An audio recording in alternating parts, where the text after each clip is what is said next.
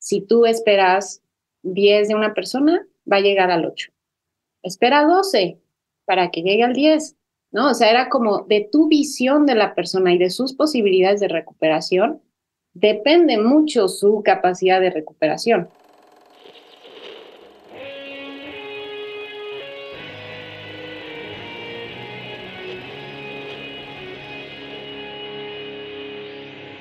Bienvenidos a Volver al Futuro Podcast, donde platicamos con las mentes que nos impulsan a crear el nuevo paradigma de salud y bienestar, conducido por Víctor Sadia.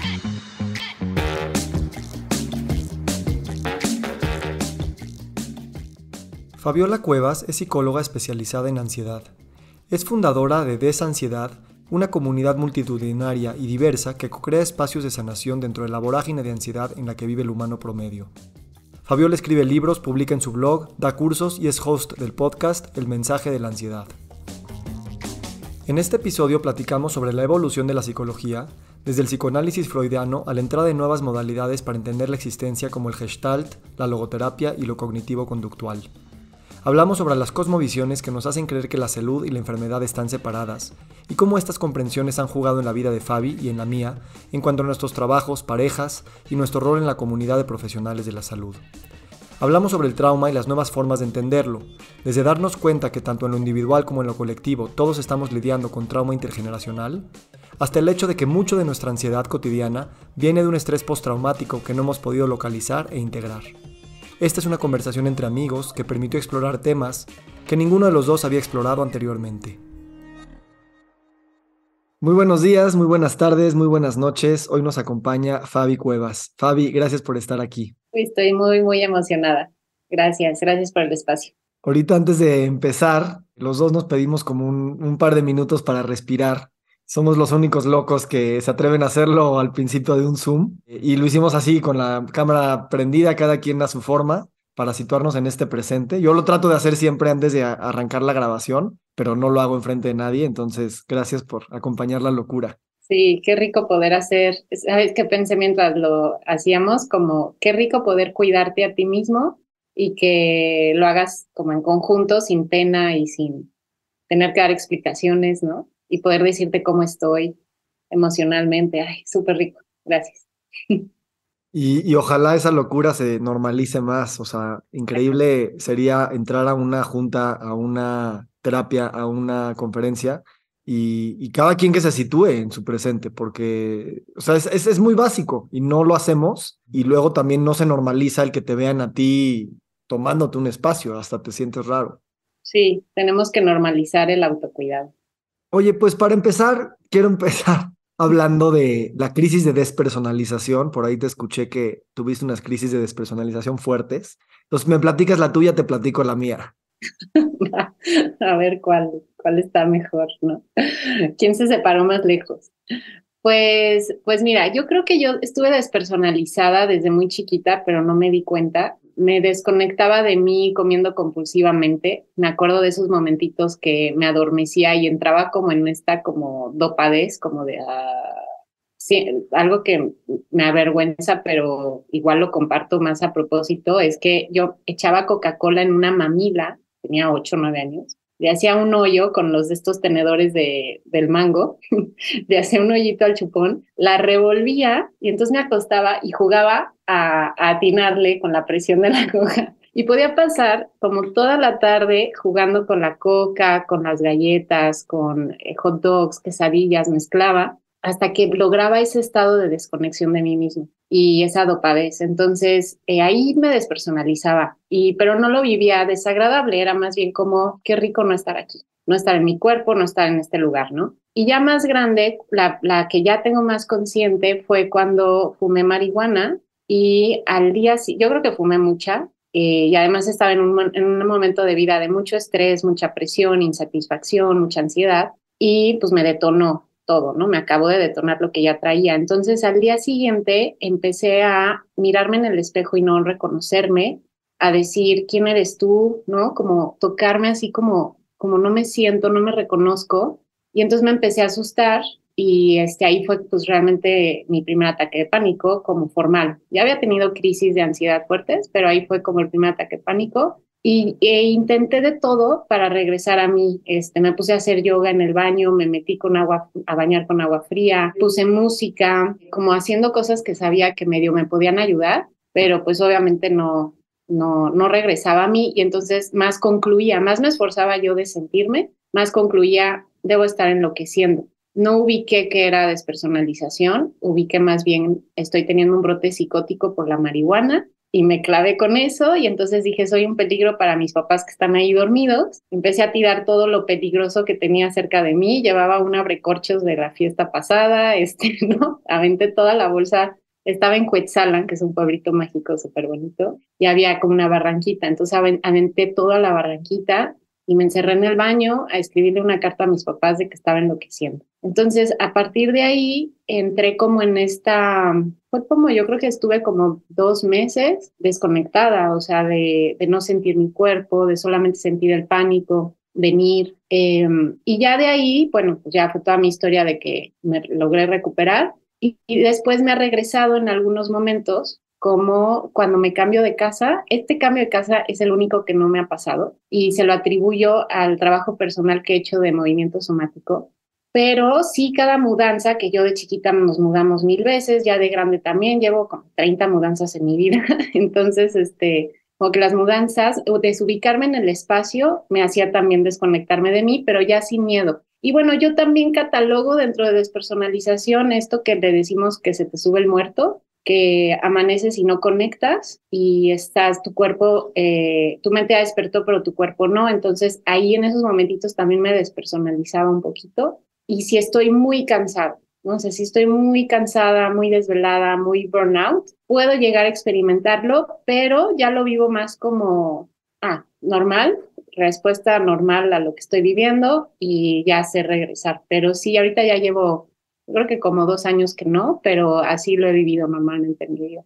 Gracias por compartir. Yo ahorita me, me recordaste que también una de las veces que fumé marihuana, de las primeras, porque yo siempre le oía la marihuana, de, de hecho no, no soy practicante, muchos creen que sí, pero no, no tanto. parecemos, parecemos. Sí, parecemos. Y me acuerdo que fumé en una laguna en Manialtepec, en, en Oaxaca, con unos amigos en una lanchita, y me dio una crisis de despersonalización dura, o sea, a la mañana siguiente fue cuando me dio y bueno, me tuve que ir afortunadamente, o sea, yo no meditaba en esa época, o sea, no tenía nada de nada de vocabulario ni nada y me acuerdo que me senté en una palapa tal vez tres horas porque como casi casi como que si mi cuerpo me llevó a meditar y a, y a respirar y luego me puse a correr como loco, este, y bueno, así aterricé. Ahorita me recordaste de esa. Eh, una muy fuerte para mí fue en, en, en Nueva York, en mi maestría estudia, estaba en una clase de antropología y estábamos estudiando la antropología dentro de los mundos virtuales, ¿no? Como Second Life y donde tienes tu avatar y construyes tu vida ahí, ¿no? Como realmente hacemos en Instagram y, Facebook, aunque el avatar se parece un poco más a nosotros. Y pues ahí como que un snap y salí de esa clase y durante cuatro o cinco días completamente separado. Mi, mi separación vino de una crisis tal vez intelectual donde se me rompieron esa idea de que hay un mundo real y una, y una realidad tangible y estuve así como caminando en las calles de Nueva York sin comer, sin, sin, sin hablar. Yo creo que no iba ni a la escuela, no sé ni siquiera qué hacía en mi casa. Este, y, no había pánico, no había dolor, simplemente había indiferencia. Era como, como salirte de donde estás y no estar. Y me acuerdo que lo que me regresó fue que me empezó a dar hambre, me empezó a dar este, calentura sexual, me empezó a dar sed. O sea, el cuerpo me regresó de alguna manera. Y, y bueno, fue interesante. Eh, a mí me da miedo eh, que me vuelva a suceder porque, porque cuando estás en ese momento, realmente puede pasar lo que sea. O sea, literalmente te puedes suicidar porque no estás en contacto con, con nada. Y, y, no se sentiría un suicidio para terminar un sufrimiento, simplemente como otra cosa arbitraria este, que puede suceder, como cruzar la calle sin darte cuenta y que te atropellen.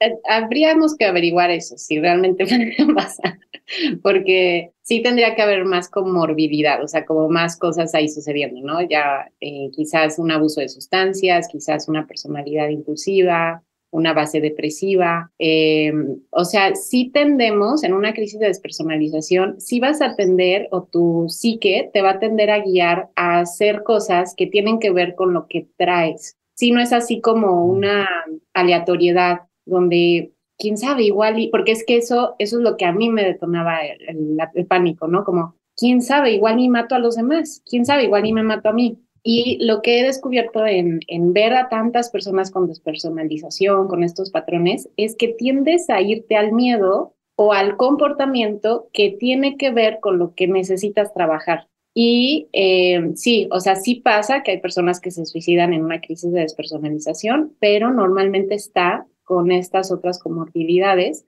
y de lo que me decías, ¿no? Del miedo a que te pase por esa como incertidumbre de quién sabe qué voy a hacer. Yo creo que es porque así lo viviste. Lo viviste totalmente inconsciente de qué hiciste. De hecho, ahorita te cuesta trabajo recordarlo, ¿no? Ahí terapéuticamente habríamos de, de sí como activar memoria para que veas que incluso estando inconsciente, eh, hubo un instinto de supervivencia que te mantuvo y que seguías siendo tú mismo incluso dentro de esa despersonalización. Muy raro, pero tenemos como nuestros estilos de despersonalizarnos y, quizás tú hacia allá te fuiste, ¿no? Entonces sí, sí sería, este, estaría padre, ¿no? Como reformularlo, reconstruirlo para que ya no sea la incertidumbre de, uff, quién sabe qué me va a pasar, ¿no? Eh, y además, con el trabajo que ya llevas y con el trabajo que hacemos quienes estamos en este camino de reconectar al cuerpo, ya las señales de desconexión empiezan a ser más notorias cuando inician. Y, y en ese momento no te fue notorio porque no estabas de por sí habitado en tu cuerpo.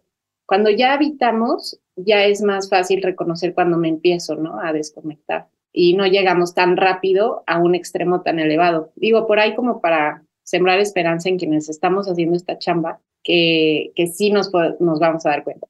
Sí, no, claro, y las experiencias pasadas, si las logras integrar, te, te dan una memoria precisamente que cuando empieza un episodio estás mucho más consciente, ah, por lo menos ya ha estado ahí y no es tan grave, y ya en el momento en que empiezas a observarlo de afuera, ya de alguna manera puede prolongarse el episodio, pero tú ya traes otra metaconciencia de que se puede observar, ¿no? Y sí, a mí me pasa mucho cuando me voy a Europa y se me mueve el, el, reloj circadiano y llegas a un hotel extraño y una tierra extraña. Eh, hay una despersonalización impresionante que a mí a veces ya me gusta ¿no? también porque eh, a nivel intelectual y también, o sea, porque nos gusta ponernos en situaciones también un poco diferentes, ya me gusta ver qué cosas van a salir de ahí y pues estar curioso también por propia creación artística y también por más autoconocimiento, ¿no? Porque uno se puede conocer muy bien en su cuarto, en su cama, en su oficina, pero las cosas que más nos van a enseñar de quién somos son cuando ya nos salimos o cuando nos mudamos de casa, figurativo literalmente, y, estamos presentes, ¿no? A eso. Sí, porque pues te, te, remueve toda la realidad y eso hace que tengas que remover tu realidad interna, ¿no? Conocer la repetición es repetir lo conocido, pero realmente conocerte es explorar en ese mundo desconocido, ¿no? Y ahí aparece qué hay dentro. Me encanta vámonos más seguido a Europa. Por esta y otras razones. Oye, a ver, te quiero preguntar, em, últimamente me he puesto a pensar mucho en, las carreras, eh, en las licenciaturas que estudiamos. Y antes, al principio del podcast, preguntaba por qué estudiaste lo que estudiaste, pero ahora me pongo a pensar de qué manera lo que estudiaste estructuró tu cabeza, estructuró tu forma de pensar y de ser. Entonces, tú estudiaste psicología y mi impresión que en México y en América Latina hay tal vez un enfoque un tanto muy psicoanalítico, ¿no? Muy freudiano. Y, cómo eso eh, te estructuró la mente, ¿no? Eh, ¿Qué ganaste y qué perdiste a lo largo de, que ahora ya observas esa parte desde otras eh, metodologías complementarias, logoterapia, gestalt, cognitivo-conductual, somático, y cómo esa estructura que te dio la carrera te permite o no entrar a estas otras maneras de entender la existencia realmente? Wow, pues primera vez que me lo cuestiono, gracias. Creo que de inicio me desestructuró. O sea, de inicio sí fue este confrontamiento de, órale, ¿no? Traigo estos rasgos, eh, autodiagnóstico cada clase, ¿no? Diagnóstico a tu familia, cada, cada clase, a tus amigos en la comida, o sea, como entrar en este despertar de lo que vemos es la puntita del iceberg y atrás hay compulsiones y pulsiones y deseos y apegos y y como sí fue muy psicoanalítica, en la náhuac es, eh, no sé ahora, pero el programa era muy psicoanalítico, era como en una clase veíamos las otras ramas todas juntitas, ¿no? Y era como, ah, esto es lo otro que hay, pero lo que hay que entender es lo psicoanalítico. Y, y lo agradezco porque sí me permitió esta estructura que ahora tengo de como mezclar las dos cosas, de, ok, entiendo de dónde viene, eso me lo da el psicoanálisis, como entiendo el por qué, pero con todas las otras ramas encuentro el camino de integración y de para qué también, ¿no? Para mí la logoterapia, encontrarle un sentido, el, o sea, yo no, yo no veo peleadas ninguna ramas, porque de hecho casi todo viene también de ahí, o sea, de ahí se fue formulando. Entonces, yo veo que una creencia tiene que ver con la herida, con la pulsión, con, ¿no? O sea, yo sí encuentro como esa conectividad en todo y quizás no me lo dio la carrera, pero sí lo que viví durante la carrera. Y a partir de que empecé a mirar otros mundos, justamente irme a vivir a otra ciudad, eh, conocerme en otro mundo, decir, ay, no sabía que yo era así, ¿no? O que me gustaba esto, o que era me tan fácil irme a esto. Eh, toda la parte de acción social que tiene muy fuerte la NAWAC, eh, pude hacer grupos de, de, apoyo de psicología, o sea, grupos de superación en grupos, y ahí pedimos ayuda a una gestal, ¿no? Una terapeuta gestal que nos dio dinámicas de grupo y entonces ahí también se me abrió como esta parte de verlo psicoanalíticamente, pero hacia la superación personal. Entonces creo que eso para mí fue fundamental, como sí entiendo lo terbullido de ahí, ¿no? Lo tenebroso, porque aparte yo iba a una terapia psicoanalítica y la verdad es que a mí esa terapia no me funcionó, ¿no? O sea, sí salía como sintiéndome culpable, culpabilizando a mi mamá, pero ya después que conocí lo gestal, eh, la logoterapia, la terapia centrada en la persona, no eliminé mi sombra, pero sí como que le pude llevar luz y le pude encontrar sentido y le pude encontrar forma y, responsabilidad, porque sobre todo eso es lo que a mí me dio como, como la carrera, como encontrarle esa responsabilidad de, ah, me tengo que ocupar de, de mí, ¿no? De mi infancia, de mis heridas, de mis emociones. Y mi ataque de pánico fue al final de la carrera, o sea, ahí la carrera fue como un, como un balde, ¿no? Así de esto es todo lo que hay. Y ya terminando es como ahora sí aplícalo todo, ¿no? Y, y úsalo y encuentra tu propio camino. Y pues creo que fue, fue ideal, fue súper bien, pero sí creo que sería muy, muy positivo que sí se le diera más atención a las otras corrientes que tienen mucho que aportarle a un psicólogo. También eso dicen de Freud, ¿no? Que lo criticamos mucho por las cosas que no le atinó, porque todo lo que sí ya lo manejamos como algo completamente normal. Se nos olvida que aparte él como que lo formuló. Eso me hace muy poderoso. Pero también se me hace interesante esta idea de que el psicoanálisis es mucho el por qué y a lo mejor otras metodologías es más el para qué y este empoderamiento. También me pongo a pensar, y no soy experto en el tema, pero Freud entra en una, fundar de alguna manera una nueva rama, está al, al, eh, eh, presente a, mucho sufrimiento, ¿no? Eh, en los tiempos en los que él estaba, y sí entendía que la neurosis era esta condición tal vez natural e inescapable de la condición humana, que pues tal vez también es una historia que nos hemos contado y que hoy a lo mejor podríamos decir, claro, está esa historia de que la neurosis y la confrontación de la muerte y los sueños y lo que no entendemos nos deja en un estado de completo desamparo y por lo tanto de desesperanza, pero también puede haber otras narrativas igual de de ciertas, mientras más personas las creemos y las sistematicemos en nuestro sistema complejo, de que pues tal vez no es la condición natural, ¿no? Y, entonces, ¿cómo tú sientes que esa perspectiva por ser el inicio del siglo XX y de la vida misma de Freud y sus temas eh, y sus enfermedades, lo, de alguna manera, y eso es un juicio mío, ¿eh? no, no soy experto, pero Freud es, es un poquito sombrío, ¿no? Es un poquito sombrío. Sí, sí, claro que su personalidad, su historia y, sus propios traumas entintaron la, yo lo siento como la perspectiva que se le dio a lo que observaba como realidad. O sea, porque yo puedo observar la realidad y creo que también está esta parte de que la primera persona que dice algo en la realidad es como fue lo primero, pues entonces se toma como verdad. Sí creo que sí dijo verdades, pero el, el, como esta interpretación sombría ya era suya, ¿no? O sea, como que sí, sí es verdad, en algún momento de la vida nos topamos con la pulsión de muerte, sí reprimimos nuestros deseos, sí reprimimos nuestros, ¿no? O sea, sí está todo eso que dijo, sí es verdad, pero no porque sea nuestra naturalidad el, irnos a, a ese camino por siempre, ¿no? O sea, ¿Qué es lo natural? Ser consciente de eso, que incluso él mismo nos lo deja ver. O sea, lo natural es descubrir la sombra y ya va a depender de la perspectiva que le pongas hacia dónde lo diriges. Y ahí sí creo que accedemos a un poquito más de libertad, claro, con el determinismo de nuestras creencias, crianza y todo, pero siempre con la opción de, bueno, ¿y qué enfoque le quiero dar? ¿no? ¿Qué, qué lente le voy a poner? Entonces, eso es lo que a mí, como lo he ido integrando, o sea, yo lo, yo me identifico con él en el sentido de que a veces soy ese rol en, mi familia, en, mi relación, ex relación de pareja, en la sociedad, como a veces soy esa persona que, que ve lo, lo disfuncional, ve lo oculto, lo que nadie está diciendo. Bueno, pero no porque eso existe es malo o tiene que deprimirme. Más bien es como, ok, eso es porque no estamos alineados a nuestro bienestar, porque no estamos cubriendo nuestras necesidades, porque no estamos siendo auténticos, porque, ¿sabes? O sea, empiezo a entender por qué es lo turbio, o porque tuve esa crianza, o porque lo que sea, y entonces ya como que le doy la otra perspectiva, ¿no? Pero creo que ambas partes son verdad y me encanta todo lo que dijo Freud, solamente entiendo por qué le dio esa perspectiva conociéndolo a él, ¿no? Bueno, no lo conocí, pero conociendo lo que sabemos de su historia.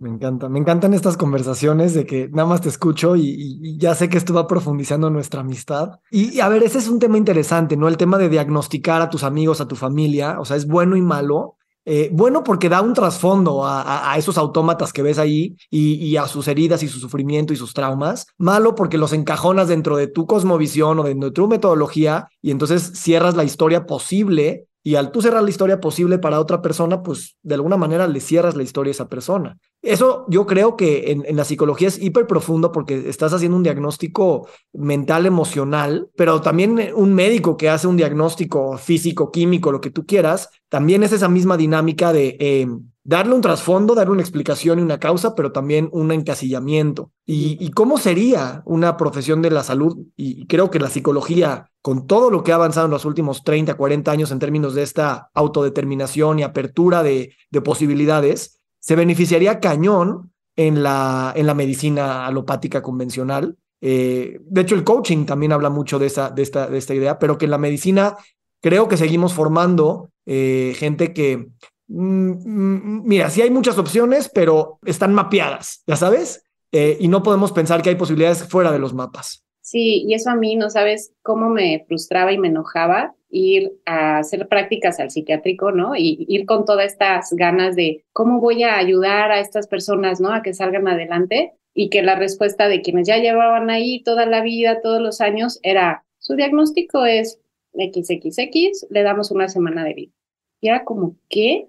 No, pero si trabajamos esto, ¿no? Y era como, como mucho, a mí la verdad, y tenía un amigo que es muy parecido a ti, que éramos, filosofábamos y nos mandábamos notitas, ¿no? De, ¿por qué está diciendo eso? Y por qué, ¿no? Era como mucho enojo de, ¿por qué el determinismo? ¿Para qué estamos estudiando esto si no es para ver cómo mejorar nuestra mente, nuestra salud, ¿no? O sea, ¿para qué? Para nada más decir, ah, sí, yo sé todo y te puedo diagnosticar y ya sé tu destino. Entonces, ahí cuando conocí a Víctor Frankl que decía, si tú esperas 10 de una persona, va a llegar al 8. Espera 12 para que llegue al 10, ¿no? O sea, era como de tu visión de la persona y de sus posibilidades de recuperación, depende mucho su capacidad de recuperación. Si tú le pones el diagnóstico, se lo va a creer más con la bata blanca o con el título, el poder de la creencia es así soy y en ese momento determinas lo que va a hacer. Entonces yo lo que pienso es que el diagnóstico sirve para ti como profesional para entender la historia y las causas que están al día de hoy ahí. Pero el diagnóstico real debería de ser la posibilidad, como lo completo. Por ejemplo, no es lo mismo decir, tienes un trastorno de ansiedad generalizada a eres una persona sensible que aprendió a intelectualizar, ¿sabes? O sea, en ningún momento es, ah, soy persona ansiedad generalizada y por siempre voy a ser así. No, siempre voy a ser sensible. Siempre quizás voy a tener una tendencia, que no es lo mismo, siempre voy a, voy a tener una tendencia a intelectualizar y a desconectarme de mi cuerpo cuando siento sufrimiento, pero eso no me determina, eso no me describe quién soy ni siquiera. Entonces tampoco me describe el diagnóstico, ¿no? Pero esto, yo justo mucho de lo que he logrado creo que fue por esa rebeldía de cuando llegaba a terapia y me decían, tienes ataques de pánico, tienes que aprender a vivir con ellos. ¿Qué? O sea, pero ni de broma, o sea, yo no nací con ataques de pánico y si tú y la psicología no tienen un camino de, de resolverme esto, lo voy a encontrar. Y, así fue como, como viví toda la carrera también, como con esa rebeldía de tenemos que encontrar la manera de no decirle a una persona que llegó a pedir ayuda que le queda una semana de vida. es como, uff, si, si pierdes eso, es, y ahora lo entiendo, es porque el sistema de salud, los psicólogos estamos traumatizados, no resolvemos nuestros propios traumas y es mejor desconectarnos de la posibilidad para no defraudarnos después a seguir creyendo, ¿no? Entonces, pues bueno, creo que por ahí.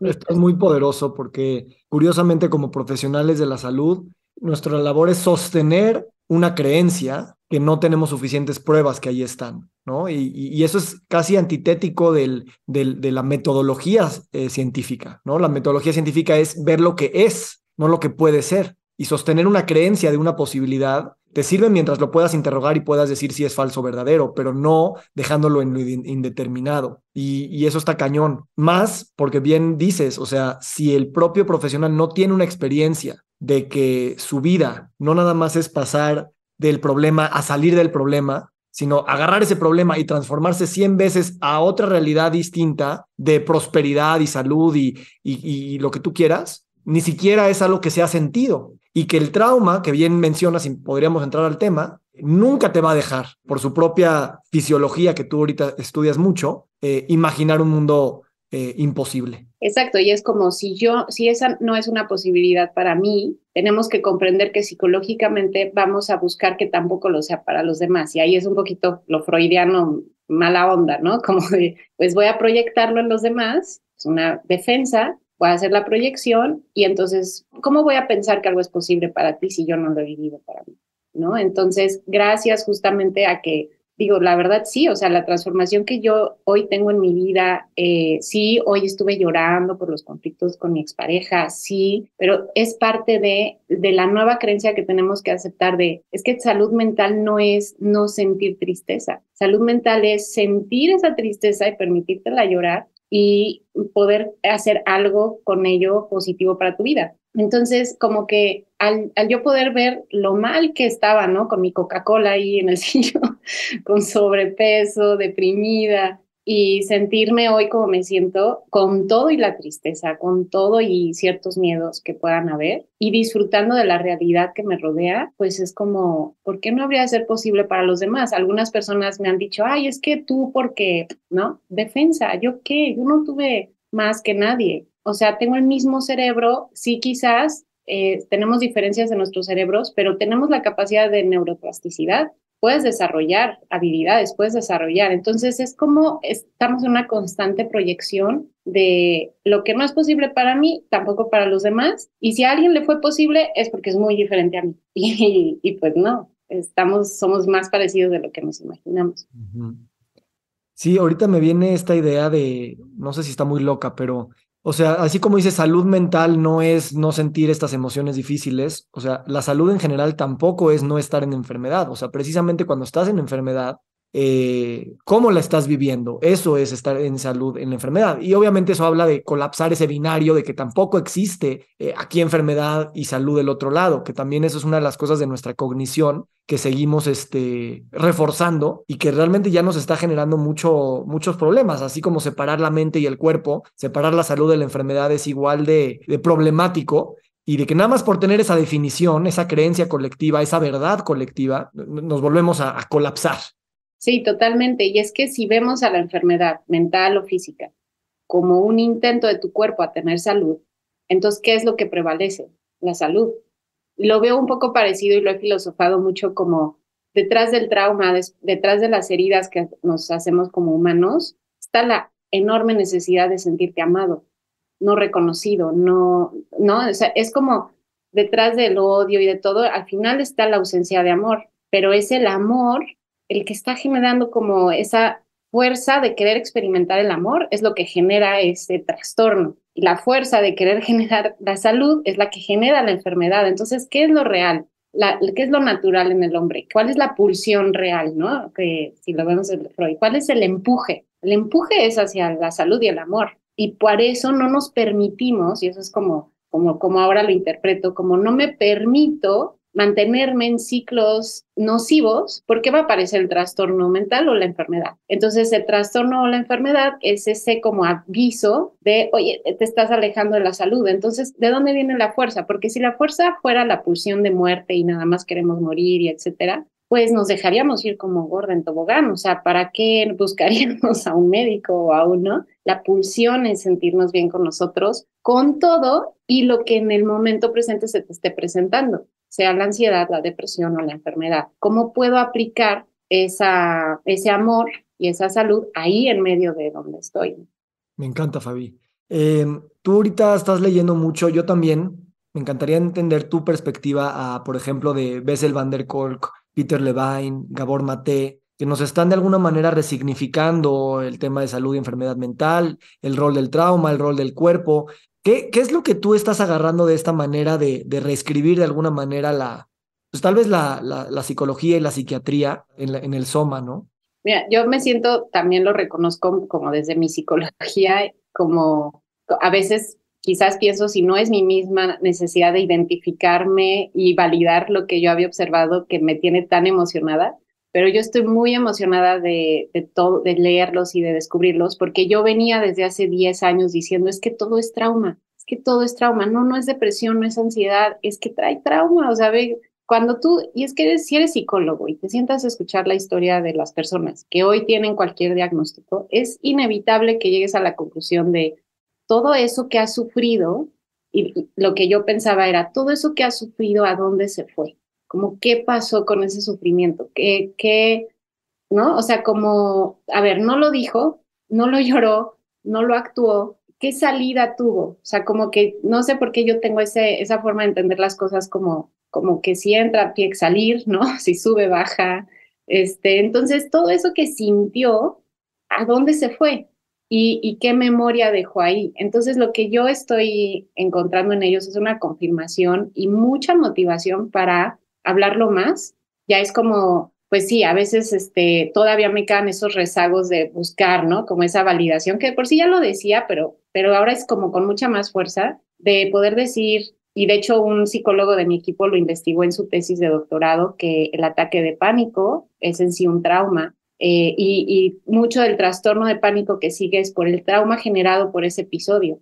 Es el miedo a repetirlo, es el sentirte en peligro. Entonces, como que ya empiezo, ¿no? A confirmar que, detrás de estas experiencias es algo que no pude procesar, liberar, comprender incluso, ¿no? Lo que te pasó con la información. Si me llega una información que me remueve, me pone en una sensación de peligro, es un trauma, aunque sea información. Y pum, ¿qué voy a hacer con el trauma? Me voy a desconectar. ¿Por qué? Porque no estoy teniendo la capacidad en este momento de procesarlo de otra forma. Es más, la desconexión es una forma de procesarlo, positiva, necesaria. Entonces, desde esta perspectiva, lo que estoy tomando de ellos es, es la comprensión de que al final el instinto de supervivencia este, es muy fuerte, yo creo que es, el, es la fuerza más importante porque es la que hace que ante un evento así me desconecte, es la que hace que lo, lo guarde y luego me busque situaciones similares para ver si ahí ya lo puedo terminar de procesar, para liberar. Y yo lo veo desde esa perspectiva instintiva de que busca nuestro bienestar, como,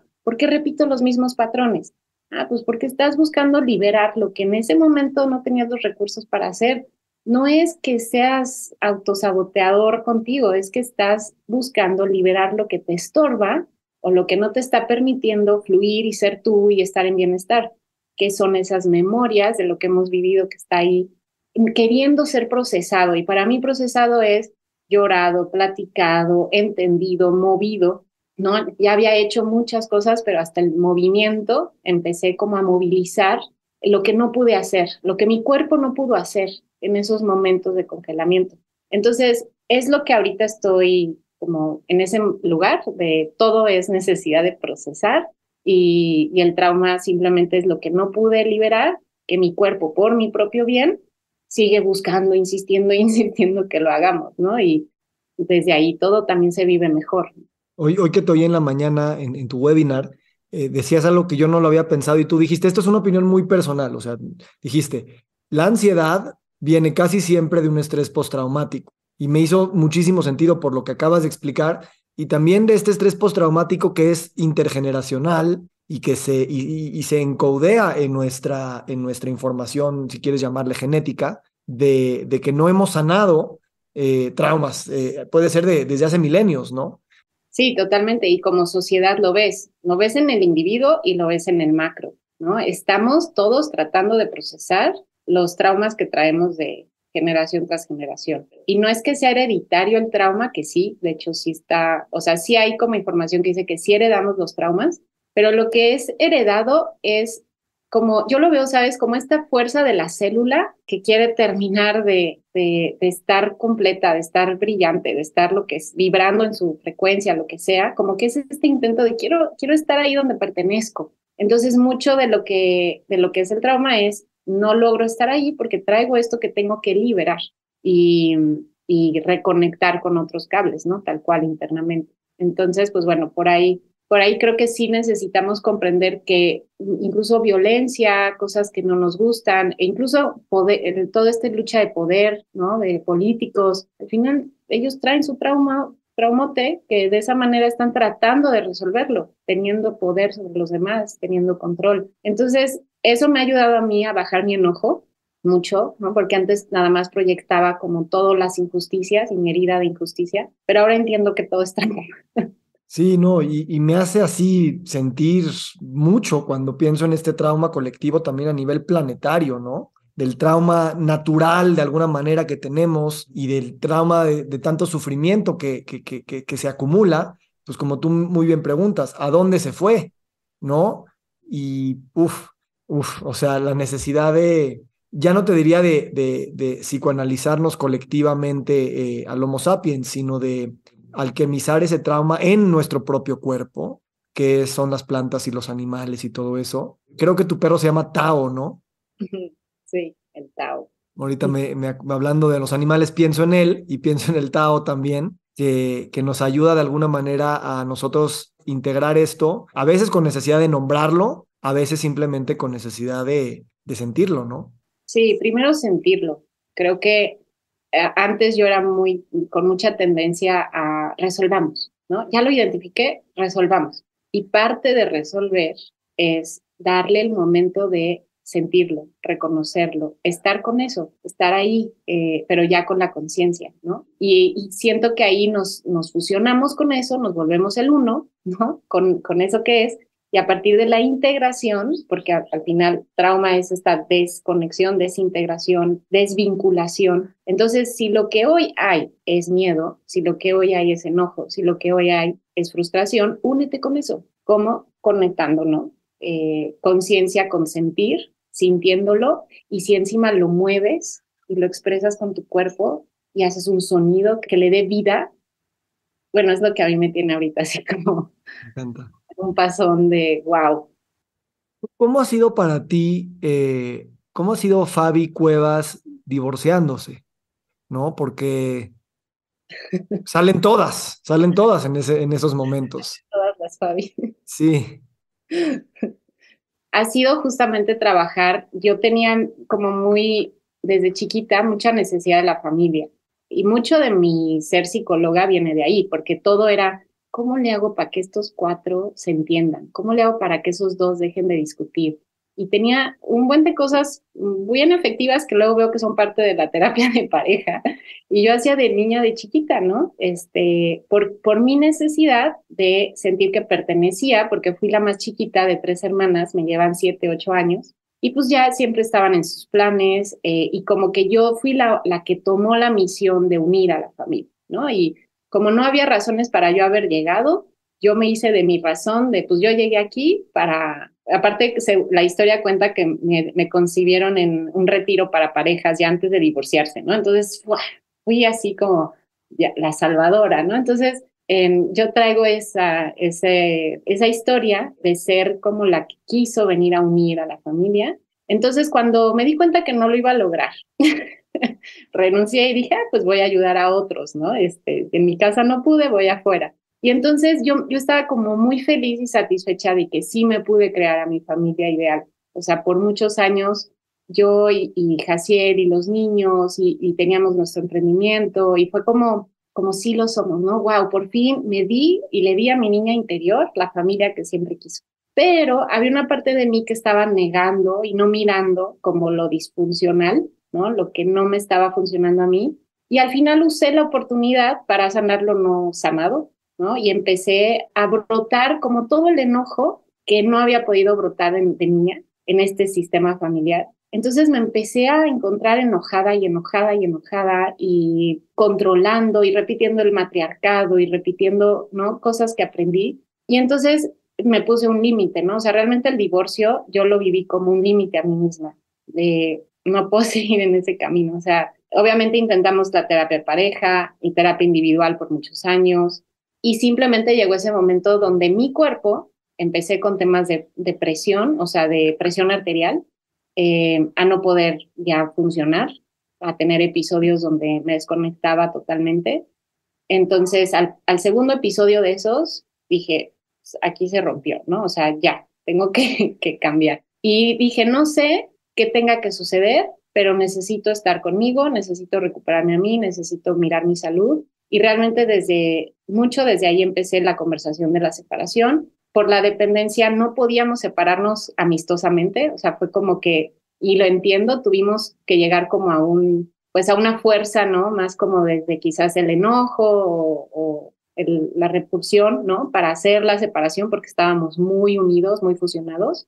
Y pues ahorita los dos hemos crecido muchísimo. El fin de semana estuvimos platicando de cuánto nos ha ayudado. Ha sido súper difícil, ha sido doloroso, pero a la vez cada uno está como asumiendo responsabilidad. Yo de no tener que ser, sentirme completa por tener esa familia ideal, ¿no? Y no sentirme que tengo que controlar un buen de cosas del matriarcado y todo eso, y él en su toma de poder de sí mismo, ¿no? Y su masculinidad y todo. Entonces, pues bueno, ha sido, desde esa perspectiva está todo muy bonito, pero también ha sido la sombra, ¿no? Y el, hazte para allá y no, esto es mío y esto es tuyo y, ¿no? como toda esa pelea. Pero estoy en medio del huracán y, y estoy viviéndolo. Estoy viviéndolo como cualquier otra persona, ¿no? Que, que vive una separación y, y ahí estoy. Gracias por compartir, Fabi. Yo creo que esto es algo que te caracteriza, que también ha traído mucha gente a ti y es esa capacidad de vulnerarte, eh, aun cuando te posicionas como alguien que sabe y que va a ayudar y enseñar, ¿no? Porque no están peleadas, de hecho, de ahí sale la fuerza pedagógica y, y, de reunión de comunidad. Vamos a eso, o sea, bueno, primero me haces pensar en, en, en, el, en, el, divorcio también como estos binarios que, que, que hemos construido, ¿no? El, el, matrimonio y el divorcio, etcétera. Y cómo últimamente estoy, he estado expuesto a muchas maneras de explorar las relaciones de pareja desde muchas perspectivas y cómo al menos contarnos esas historias sin que tengas que vivirlas, pero como cosas posibles, te hace reescribir tu historia donde sea que estés en el espectro de, de las relaciones de pareja. Sí. Y creo que a veces, justo porque se habla de una manera muy terapéutica o para tratar de solucionar conflictos o la mediación o mismo se llama terapia de pareja, sigue sintiéndose como, bueno, vamos a contar esas historias para sanar. Pero ¿por qué no contamos esas historias simplemente para reescribir las historias posibles del mundo sin esa, sin esa eh, necesidad de decir es para algo? Porque ahí es donde la gente dice, no, pues es una manipulación o yo no me la creo o es para, para alguien más, pero no como una historia posible de, de la vida de la civilización. ¿Cómo, ¿Cómo tú sientes que estas historias eh, podrían mm, hablarse más sin, sin la connotación terapéutica? También me está pasando, ¿eh? También estoy como, antes no lo veía posible, pero ahora ya se me abren las posibilidades de quizás, o sea, hay mucho cariño entre los dos, hay muchas ganas de que él esté bien, que yo esté bien. Reconocemos que no nos hace bien nuestra dinámica eh, que se generó entre nosotros, que nuestras heridas ya llegaron a lo que tenían que sanar y, ¿no? O sea, como ese reconocimiento de cómo podemos seguir, y es lo que he trabajado con él en estos meses, cómo podemos seguir siendo familia, apoyarnos. Nos fuimos a acampar juntos el sábado con el equipo de Desansiedad. O sea, fue como, ¿cómo ser familia sin ser pareja, ¿no? Sexoafectiva. Eh, en ese proceso estamos y cómo también yo tener eh, una pareja en una relación abierta, ¿no? Estoy como explorando eso porque definitivamente no estoy lista para ningún compromiso ahorita, no estoy este, ni remotamente a nivel emocional, estoy 100% con mis niños y conmigo, o sea, todavía me, me necesito mucho a mí como para meterme en una relación, pero reconociendo mis necesidades afectivas, ¿por qué no? ¿No? Entonces estoy como en ese rompiendo esos esquemas, esos patrones de lo que significa familia y lo que significa pareja y que ya pareja para mí ya está cambiando el concepto de nos la vivimos juntos, hacemos todo juntos, creamos todo juntos, este, me da razón de todo, ¿sabes? O sea, estoy como en esa, ya viviendo el, no, yo creo que lo más sano es tener lo mío, este, tener mis amigos, tener mis planes, hacer mis cosas y compartir eh, sin descuidarme a mí, porque sí lo hice, ¿no? O sea, en la relación al final sí me desboqué en los niños, en él, me olvidé de mí, aunque tengo mis prácticas, tengo mis hábitos que no dejaba, pero como que era más bien como un, este es mi salvavidas, mientras que lidio con todo lo demás. Y ahora ya es como todo al revés, ¿no? O sea, es más bien como el bienestar para mí porque lo merezco, porque es lo más prioritario y después entran todos los demás. Entonces, bueno, estoy también preguntándome todo, eh, cuestionándolo y, animándome a, explorar. Y, así lo hice con, con mi salida de los ataques de pánico. Fue como, a ver, todas las creencias que yo tenía, me puse a explorar. En mí, como caja de Petri, yo qué vivo, qué siento cuando vivo esto. Y así fui llegando a nuevas conclusiones que me liberaban, ¿no? Porque porque creo que las otras conclusiones, ideas, esquemas a veces nos aprietan. Entonces, estoy en esa búsqueda de, unos, de un esquema que me venga mejor a mí. Sabes, esto cierra un círculo muy hermoso de esta conversación porque hablábamos de los profesionales de la salud como los que sostenemos una creencia que nadie cree, ¿no? Para los pacientes. Pero tú, llamándote paciente en este, en este contexto que nos hablas de tu divorcio, fíjate cómo el paciente también tiene que sostener una historia más allá de lo que es posible para sí misma y hablarlo de tal forma que muchas personas te van a considerar loca, ¿no? Eh, por usar estas terminologías, por, por manipular las historias del mundo para acomodarte a lo que te funcione, este, y llamándote cobarde, débil, este, eh, en fin, muchas maneras de que esas personas se pueden espejear, como, esa valentía del paciente y de su profesional eh, realmente es la misma, ¿no? Sí, totalmente. Y bueno, yo me animo a todo esto y a decirlo porque de verdad entiendo que siempre un juicio viene de, de una proyección. Y ya me liberé de eso hace muchísimo porque a mí me causaba ansiedad estar pensando en lo que otros podrían opinar de mí. Entonces, para mí eso es una de las libertades que me han permitido vivir sin ansiedad, el ya no darle tanto peso a la opinión de los demás y más bien saber que es mi camino, es mi vida, tengo toda la libertad de elegir, el trauma nos hace pensar que no podemos elegir, que otros tienen que elegir por nosotros. Y el que yo tome las decisiones que yo tome no da ni permiso ni motivación, ¿no? A otros, no tendría por qué, no porque yo estoy en un lugar de, de opinión, ¿no? Este, tendría que o limitar tus decisiones o motivarlas o proponértelas. Creo que cada quien tiene que encontrar su camino y yo confío, como Víctor Frankl, ¿no? Yo confío que cada quien va a tener la capacidad de discernimiento y por eso a veces comparto cosas que igual otros no, me dicen, este, ay, pero el otro, ¿qué va? Digo, siempre soy muy cuidadosa entendiendo que hay mil realidades allá afuera y por eso digo esto, ¿no? Porque esta es mi realidad y hay mil cosas que no, no alcanzamos aquí a platicar de, de dónde vengo y de mi relación que me llevan a esto, ¿no? Entonces, este,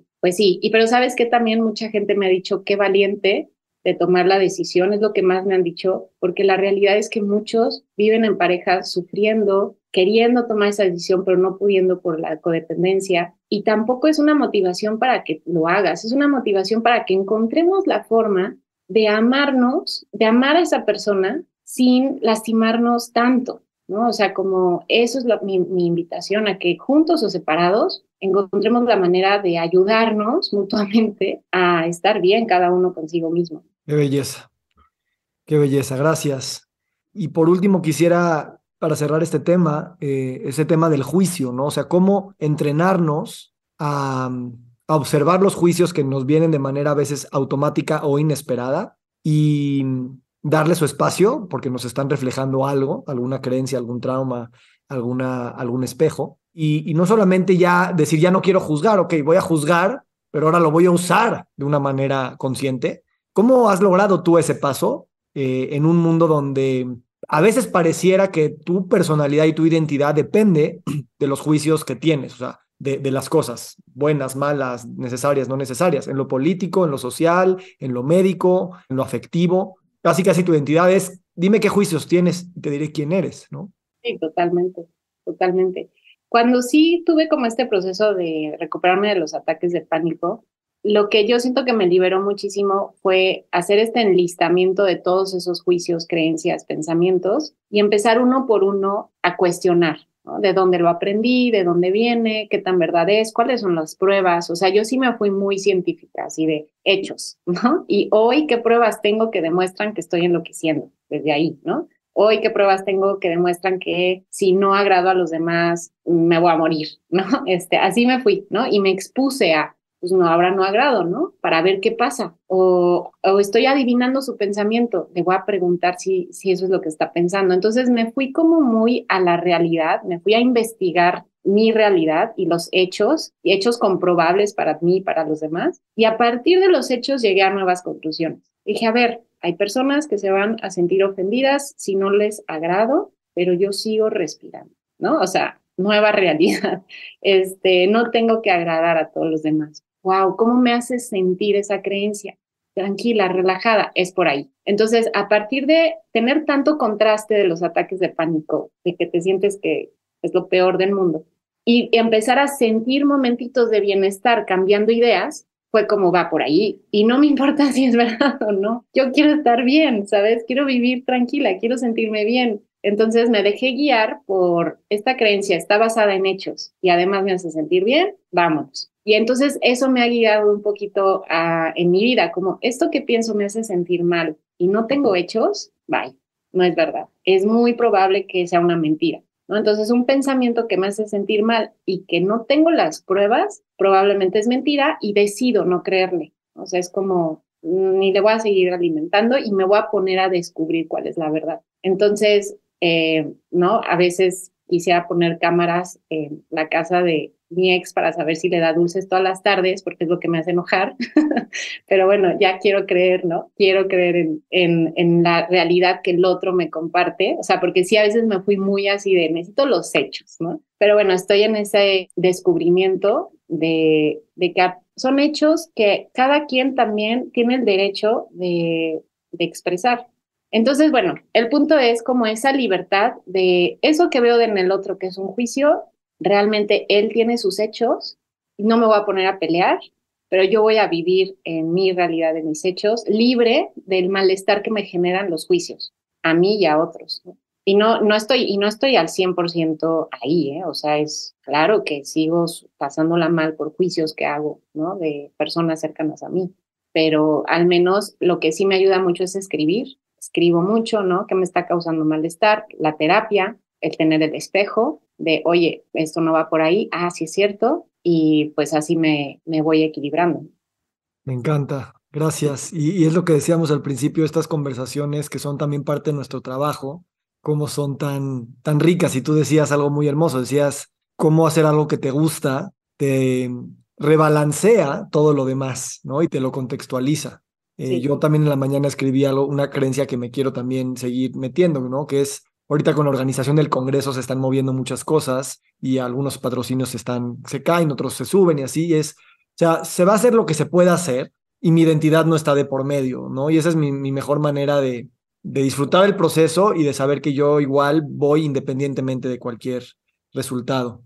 Sí, eh, no, y ya te la sabes que va a salir increíble. Sí, además, además, o sea, veo, veo hacia atrás, exacto, y uno no confía en que, en que pues todo sale bien, ya sabes, a como tiene que salir y si no vas a aprender increíble. Entonces yo nada más no ligar tanto mi identidad a nada, a nada, nada, nada, este, ni a mí y, y jugar con eso. Y, y, ahorita, o sea, hablando de estas cosas, es esta enseñanza de, de, de, que hay que aprender a que nos importe, pero también que no nos importe al mismo tiempo, ambivalentemente, pero siempre debe de ser así. Eh, creo que también es una base increíble para poder avanzar, no avanzar, pero, pero sanar lo que tengamos que sanar a nivel social, individual, familiar o planetario, el, el que, te, que te importe lo suficiente, pero también que no te importe lo suficiente. Y es, una, es una cosa que nuestra manera de pensar no, no, no es lógico, ¿no?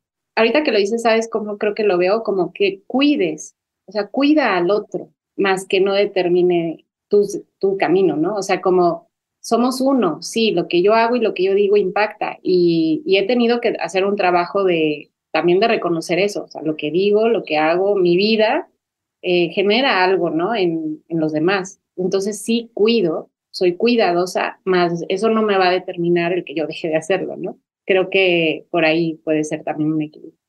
Muchas gracias, Fabi. Pues nada más una pregunta final. Eh, hace unas semanas compartimos un retiro de profesionales de la salud y bueno, pues quisiera, no sé, a lo mejor qué, qué, cuál es la importancia de los retiros, ¿no? O a lo mejor tal vez cómo tú lo viviste, porque yo estoy apenas descubriendo ese mundo y se me hace tan importante y necesario, pero todavía no termino de verbalizarlo. Entonces tal vez tú me ayudas. Sí, para mí el retiro nos da dos cosas. Una, te da perspectiva de tu realidad, porque te estás alejando, retirándote de esa realidad. Y otra es como un, igual regreso a la caja de Petri, pero es como un ensayo social donde brota quién eres, tus necesidades, tus reacciones, impulsos, proyecciones, juicios. Entonces, para mí un retiro es esa oportunidad de mirarme en un ambiente que es separado al que es todos los días y con más razón, por eso brota más fácil como, como lo que traes. Entonces, lo que me brotó muchísimo en el retiro, que, que sí te lo comenté a ti, Janirdos, que pero no, no sé si en ese impacto de que de verdad me costó mucho trabajo no decir cosas, no aportar, no guiar al grupo. Este. Entonces, ya como después del retiro empecé a, reflexionar en esto y dije, ¿por qué? ¿Para qué me brotó esto en este momento de mi vida? Porque brota lo que tiene que brotar. ¿no? Yo iba con una intención y acaba saliendo otra cosa, ¿no? Entonces, eh, lo que entendí, lo que estoy trabajando es que como que lo que estoy es que doy de más, o sea, como doy de más. Entonces estoy explorando el, ¿y para qué doy tanto? ¿Qué, qué necesidad estoy buscando cubrir? ¿Qué me hace falta? ¿No? Como de dónde viene. Entonces eso estoy en, terapia trabajando muchísimo eso, este, y, me he dado cuenta como todo el tiempo estoy pensando en y esto y esto y esto y estoy trabajando en frena, frena, frena. Es suficiente con lo que eres, ya, no tienes que dar, solo tu presencia. Entonces eso fue lo que me, me dejó muchísimo el retiro, que con mi presencia basta, que no tengo que estar siendo de ayuda para los demás, de encaminar a los demás, de, mi presencia es suficiente. Y, y eso, bueno, estoy súper agradecida con, con que facilitaran ese espacio porque porque es eso, para mí, la oportunidad de que brote lo que justo en este momento tenía que brotar. Y hoy en terapia de pareja, con la terapia de mi hijo, veíamos que uno de los conflictos que están impidiendo que mi hijo esté bien es que yo estoy aquí dándole demasiado como para que él esté contento conmigo y, y él me hizo ver, ¿no? A ver, tienes esto y esto y haces esto y es, y es como, ay, sí, vuelve a salir, estoy dando demasiado. Entonces es como ser humilde